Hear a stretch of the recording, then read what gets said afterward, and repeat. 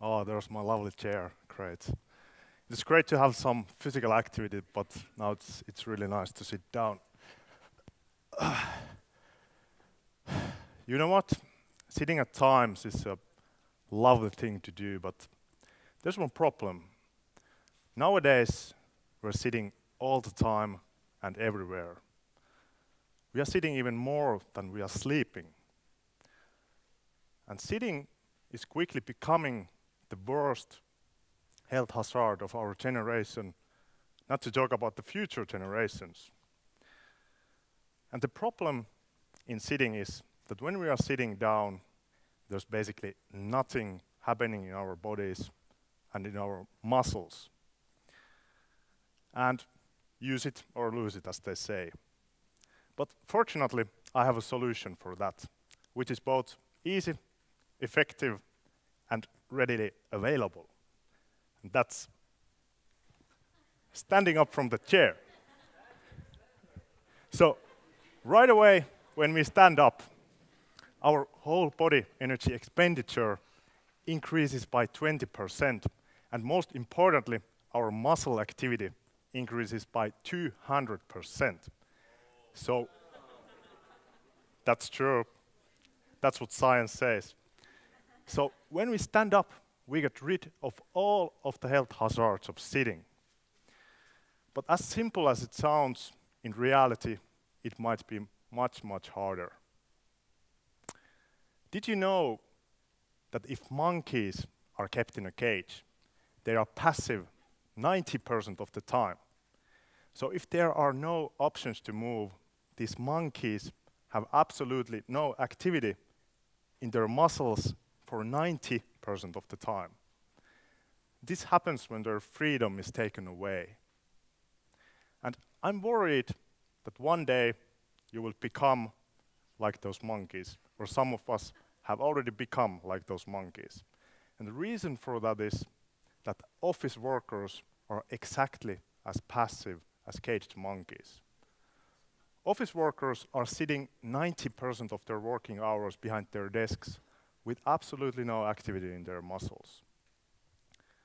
But there's one place where people, and a lot of people, are sitting even more.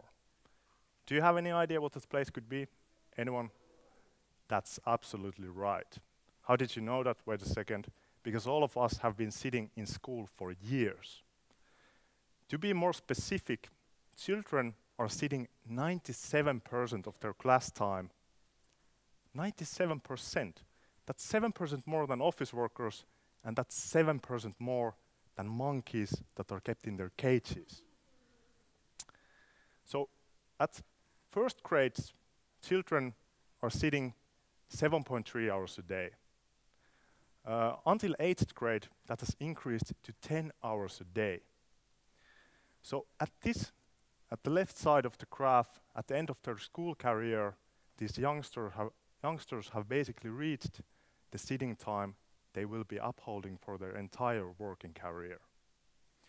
So I think that school is a great place in teaching us how to sit down throughout the days quietly with absolutely no activity in our muscles.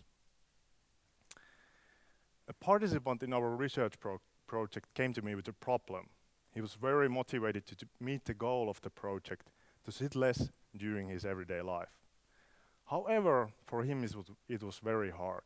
Every time he was trying to stand instead of sitting in a meet meeting or in a coffee break, his co-workers were questioning his behavior. He couldn't meet this most simple goal because he was acting against the norms. People want to lose weight. They feel bad about not exercising three times a week, but then at the same time, they might be seated for 10 hours in a bad position every single day without even thinking about it. What's even worse, they might be, might be laughing at someone who is trying to stand instead of sitting because it's not normal. So this is what I mean by physical activity paradox. I think that the first and the most important rule of exercise prescription should be to stand up from the chair. However, sitting is normal although every hour of sitting per day increases the risk of type 2 diabetes by 7%.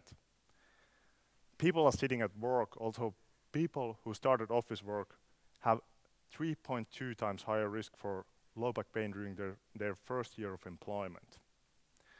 Children are sitting at school, although every hour a child is sitting increases the risk of his or her obesity by 32%.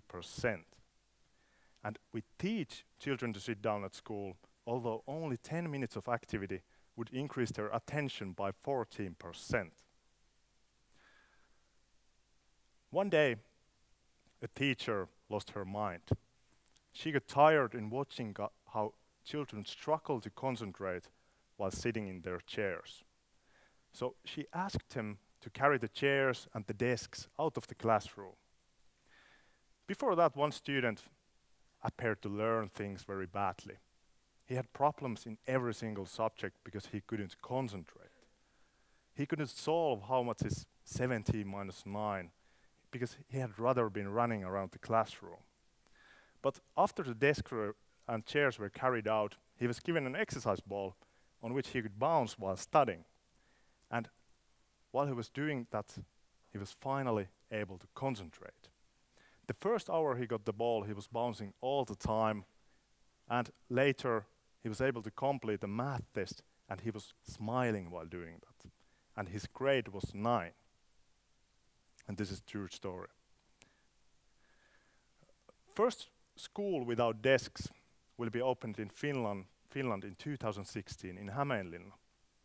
Uh, in that school, children are able to learn while moving around. They are able to do group work in various settings instead of being captivated in their desks. So the aim is to teach these children that staring at the teacher while sitting at their desks is not the only way, only way to learn. When these kids will be adults, they don't need to struggle with obesity, nor they are laughing at someone who is trying to stand instead of sitting.